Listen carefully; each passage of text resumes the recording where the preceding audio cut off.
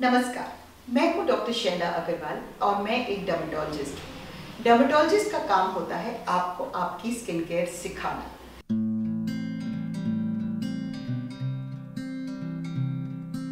एक हमारी बॉडी का पार्ट है जो ज़्यादातर बहुत दुख में रहता है, लेकिन हम उसके लिए कुछ करते नहीं वो है हमारे पैरों की एड़ियाँ।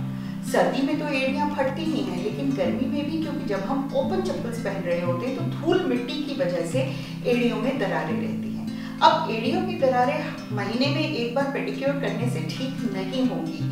उसके लिए ज़रूरी है कि आप रूटीन में अपने पैरों का ध्यान रखें। देखिए, पैर जो है, वो हमारे पूरे वज़न को ले रहा है। तो अगर आपकी एड़ियाँ फटी हुई होंगी और पैर आपका वज़न नहीं ले पाएगा तो आपको कॉन्स की शिकायत होने लगेगी।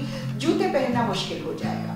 पहली बात ये जानिए कि एड़ी की जो स्किन होती है, वो बिल्कुल अलग स्किन होती है। इट्स 20 लेयर्स थिक अगर हमारे फेस की स्किन में पाँच लेयर हैं तो हमारी एड़ी में 20 लेयर हैं। और इस एड़ी की स्किन में आप देखेंगे कि कहीं कोई पोर्स नहीं होते हैं, कोई ऑयल ग्लैंड नहीं होते हैं, कोई बाल नहीं होता है। तो हमें मेहनत करनी पड़ती है कि हम उसके अंदर क्रीम को पहुंचाएँ और मॉइस्चराइज करके रखें। तो तरीका क्या होता है? तरीका ये होता है सर्दी में, खासकर बिकॉज़ सर्दी में एक्सफोलिएशन स्किन के उतरने का जो रेट है, वो नॉर्मली अगर तीस दिन होता है तो सर्दी में सात दिन हो रहा है। तो आप सोचिए कि सात दिन में एक डेड लेयर ऑफ़ स्किन वहाँ जमा हो रही है तो अगर आप उसका ध्यान नहीं रखेंगे तो वो तो स्किन फटने लगेगी।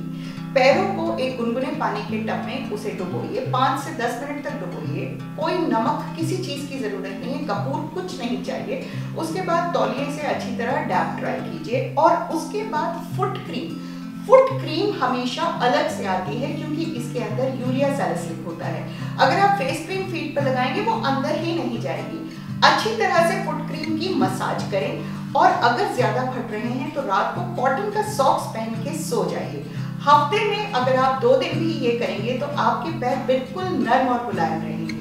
और महीने में एक बार पेडिक्योर अगर कर लेते हैं, देखिए पेडिक्योर का फ़ायदा ये है कि वहाँ पर हल्की सी स्क्रबिंग हो जाती है तो लेयर्स बिल्कुल एक्सफोलिएट हो जाते हैं।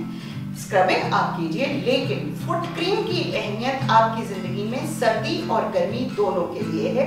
और ये बात मेल्स और फीमेल्स दोनों पे लागू होती है, क्योंकि या तो आपने ओपन चप्पल पहनी है या आपने जूते सारे दिन पहने हैं। तो दोनों चीज़ें हम जो है, हमारे पैर बंधने के लिए नहीं बने थे, लेकिन हमने उन्हें जूतों में बाँध दिया है। तो अब हमें उनका ध्यान रखना पड़ेगा।